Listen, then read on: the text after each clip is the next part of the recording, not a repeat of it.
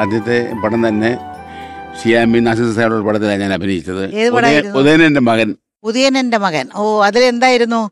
ഞാൻ ഒരു പഠനായിരുന്നു. വടൻ ഓ അത് ശരി. ശ്രീരാമ അന്ന് എന്തോരം പടം നിൽക്കുന്നല്ലേ അങ്ങനെ നോക്കാന അന്ന് വിജയശ്രീ ഡാൻസ് ചെയ്യുകയാണ്. ആ.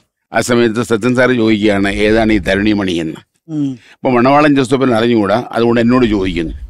അപ്പൊ ഞാൻ പറയുന്നു അറിഞ്ഞുകൂടെ ഇതാണ് കാവിൽ ചാത്തോത്തെ കുങ്കിയമ്മ. ഓ. അതാണ് first dialogue first tight okay ആയി. അത് കാരണം ആ സമയത്ത് ശാരംഗവാണി സർ എന്ന് പറഞ്ഞു. ഡയലോഗ് ഒന്നും ഇല്ലാത്ത വേഷമാണെന്ന് പറഞ്ഞു. ഞാൻ മനസ്സിൽ പറഞ്ഞു ആർക്ക് വേണം ഡയലോഗ് സച്ചിൻ സാറിന്റെ നസീർ സാറിന്റെ ഇവിടെ നിൽക്കാൻ വരുന്നത് എനിക്കെന്തിനാ? ഡയലോഗ് അപ്പച്ചൻ ചേട്ടനിലേക്ക് ഇത്രയും നമ്മൾ ആയിരം പടം എന്നൊക്കെ പറഞ്ഞ് ഞാനുള്ള കാര്യങ്ങൾ പറഞ്ഞിരുന്നത് മലയാളികൾ മുഴുവൻ നോക്കണത് ഇത് ആരുടെ ആയിരം പടം കഴിഞ്ഞാൽ നസീർ സാറിന്റെ നാട്ടിൽ ഒരു സ്വീകരണം കൊടുത്തിട്ടില്ലേ? കൊടുത്തിട്ടുണ്ട് എന്തായിരുന്നു അതിന്റെ വകുപ്പ്? അതിന്റെ വകുപ്പ് സാറിനോട് ഭയങ്കര ഇഷ്ടമായിരുന്നു. അപ്പോൾ ഞാൻ പഠിച്ച സ്കൂൾ എന്ന് പറയുന്നത് പുന്നപ്പുറ സെന്റ് ജോസഫ് സ്കൂളാണ്. അപ്പോൾ ആ സ്കൂളിൽ വെച്ച് തന്നെ ഒരു സ്വീകരണം കൊടുക്കണമെന്ന് ആഗ്രഹം ഉണ്ടായിരുന്നു. അപ്പോൾ ഞാൻ സാറിനെ കാണുമ്പോഴൊക്കെ പറയും സാർ പുന്നപ്പുറം ഒന്ന് വന്ന് ഒരു സ്വീകരണം ഏറ്റുവാങ്ങണം.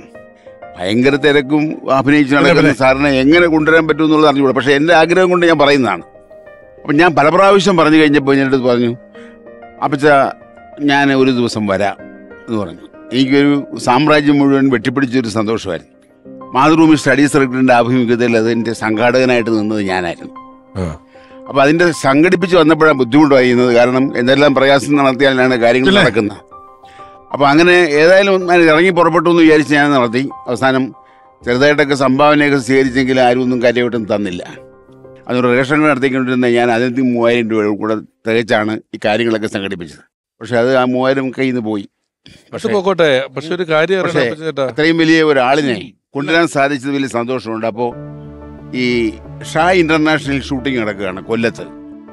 അപ്പോൾ എന്റെ അടുത്ത് പറഞ്ഞു അപ്പച്ച പറ്റുകയാണെങ്കിൽ നാളെ എനിക്ക് വരാൻ സൗകര്യപ്പെടുമെന്നൊരു ഡേറ്റ് നേരത്തെ പറഞ്ഞു. അപ്പം ഞാൻ അതിന് മുമ്പേ ചെന്ന് അവിടെ താമസിച്ചൊരു ബെൻസ് കാറൊക്കെ അറേഞ്ച് ചെയ്തു. അദ്ദേഹത്തെ കൊണ്ടുവരുമ്പോൾ ഒരു നല്ല വണ്ടി കൊണ്ടുവരണമെന്ന് വിചാരിച്ചു. അപ്പോൾ അങ്ങനെ പോന്നു കഴിഞ്ഞപ്പോൾ ഞാൻ പിന്നീടാണ് അറിയുന്നത് ഈ സ്വീകരണത്തിന് സമയത്ത് അദ്ദേഹം കോൺഗ്രസ് പാർട്ടി ചേരാൻ പോകുന്ന ഒരു സംവിധാനം പറഞ്ഞിരുന്നു.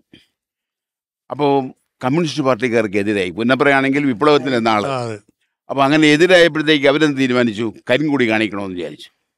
അപ്പം അതിന്റെ ഗൗരവം മുഴുവൻ പോയി. എനിക്കാണെങ്കിൽ പ്രയാസം കൊണ്ട് കൂടി. കാരണം ഞാൻ കൊണ്ടിരുന്ന സമയം ഇത്രയും കാര്യമായിട്ട് കൊണ്ടുവരുമ്പോഴത്തേക്കും സ്വീകരണം നടത്തി സ്വീകരണം കരിങ്കൊടി കരിങ്കുടി കാണിച്ചു പറഞ്ഞു കഴിഞ്ഞാലുള്ള അവസ്ഥ തന്നെ.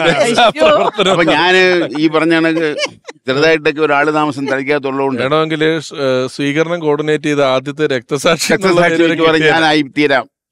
ഞാൻ അവസാനം പോലീസുമായിട്ട് ബന്ധപ്പെട്ട് കഴിഞ്ഞപ്പോൾ എന്റെ സുഹൃത്തുണ്ടായിരുന്നു ഡിവിൽ vigilance D Y S P Varghese Mathew sir. ഞാനൊരു ദിവസം ചെന്ന് കണ്ടിട്ട് ഞാൻ പറഞ്ഞു ഇങ്ങനൊരു സ്വീകരണം സംഘടിപ്പിക്കുന്നുണ്ട്.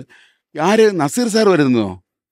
വിശ്വസിക്കാൻ പറ്റുന്നില്ലല്ലോ എന്ന് പറഞ്ഞു. കാരണം അവർക്കൊന്നും പ്രതീക്ഷയില്ല പുനഃപ്രയോഗം സ്ഥലത്ത് അദ്ദേഹം വരിക എന്നുള്ളത്. അപ്പോൾ ഞാൻ പറഞ്ഞു വരുന്നുണ്ട്. ഈ പറഞ്ഞൊരു കുഴപ്പം പറ്റി. കമ്മ്യൂണിസ്റ്റ് പാർട്ടിക്കാരിങ്ങനെ ഒരു കാര്യം ആലോചിച്ചിരിക്കുകയാണ്. അല്ല, അത് ശരിയല്ലല്ലോ. ഞാൻ ശരിയല്ലെന്ന് തന്നെയല്ല. പത്മശ്രീ കിട്ടിയ ആളാണ്. നസീർ സാർ അങ്ങനെ പറയാൻ കൂടെ തോന്നി എനിക്ക്. അപ്പം പത്മശ്രീ കിട്ടി നസീർ സാറിനെ. കുരങ്ങോട് കാണിച്ചാൽ രാഷ്ട്രത്തെ അവമാനിക്കുന്ന തുല്യമാണെന്ന് നമ്മൾ പറഞ്ഞു. അത് വളരെ ശരിയാണ്. എന്ന് പറഞ്ഞ് അദ്ദേഹം പറഞ്ഞിട്ട് പറഞ്ഞു രണ്ടു വണ്ടി മദ്രാസ് പോലീസിന് ഇറക്കാമെന്ന് പറഞ്ഞു. ഞാൻ പറഞ്ഞു എത്ര പോലീസിന് ഇറക്കാൻ വേണ്ടിയിട്ട് അത് ചെയ്തേക്കണമെന്ന് പറഞ്ഞു. അപ്പോൾ കൊല്ലം കഴിഞ്ഞ് അടുത്ത ആയപ്പോൾ എന്റെ അടുത്ത് പറഞ്ഞു അപ്പച്ച ഞാൻ അവിടെ വരുമ്പോൾ ആദ്യമായിട്ട് എന്താണ് പറയേണ്ടത്? അങ്ങനെ ഒരു ചോദ്യം ഞാൻ പ്രതീക്ഷിച്ചില്ല. ഞാൻ പറഞ്ഞു ഇത് വിപ്ലവത്തിന്റെ നാടാണ് സാർ. അപ്പോൾ അവിടെ വരുമ്പോൾ ഞാൻ ഇവിടുത്തെ അനശ്വരരായ രക്തസാക്ഷികളെ ഓർമ്മിക്കുകയാണ് എന്നങ്ങ് പറഞ്ഞേക്കണമെന്ന് പറഞ്ഞു. അത് കൊള്ളാമല്ലോ എന്ന് പറഞ്ഞ സാർ എന്റെ അടുത്ത് പറഞ്ഞു. എനിക്ക് സന്തോഷമായി സാറിന് സന്തോഷമായി. ഇവിടെ വന്നിറങ്ങി.